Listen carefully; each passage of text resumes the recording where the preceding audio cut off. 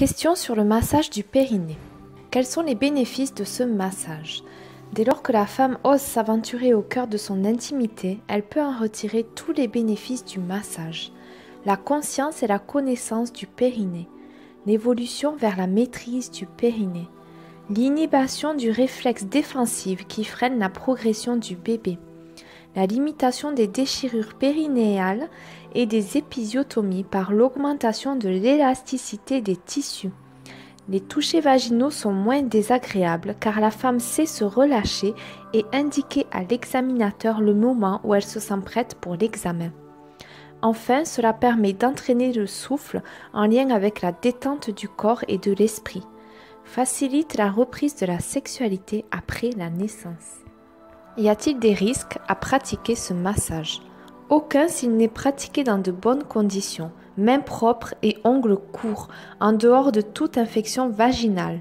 Le massage n'atteint ni le col de l'utérus ni le bébé. Quand commencer? À quel rythme peut-on pratiquer ce massage? Dès le début du huitième mois, tous les jours après avoir vidé votre intestin et en vous étant préalablement lavé les mains et le périnée. Continuez quotidiennement jusqu'au jour de la naissance. Combien de temps dure le massage? En général, 3 à 10 minutes.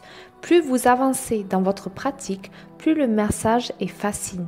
Si au début il est désagréable, voire douloureux, au bout de 15 jours de massage, il ne l'est plus. Si le périnée est tuméfié par des hémorroïdes ou des varices vulvaires, comment faire? Ne pas faire le massage en pleine crise d'hémorroïdaire, mais faire un traitement de fond est local. De très bons remèdes existent en homéopathie et en acupuncture. Privilégiez les exercices périnaux prescrits par votre sage-femme en y associant le bain défatigant au marron d'Inde en bain de siège. En dehors des crises, avant le massage, prendre un bain frais, environ 30 degrés, immerger les jambes et le bassin.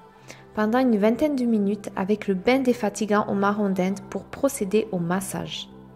En cas de cicatrice ancienne sur le périnée, que faire? Travailler la cicatrice de façon plus précise entre le pouce et l'index en petits mouvements circulaires afin de l'assouplir également. Peut-on exercer lors de l'accouchement? Oui, au moment de l'expulsion, certaines sages-femmes massent le périnée à l'extérieur pour limiter les sensations désagréables d'étirement.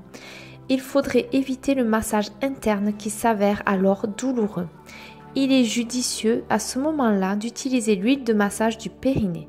Vous pouvez le suggérer à la sage-femme en début de travail, d'autres encore le recouvrent de linge chaud pour favoriser la détente. Peut-on continuer ce massage après la naissance de bébé?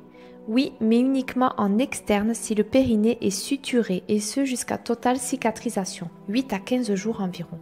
Il permet de soulager les douleurs en cas de suture. Il favorise le processus de cicatrisation.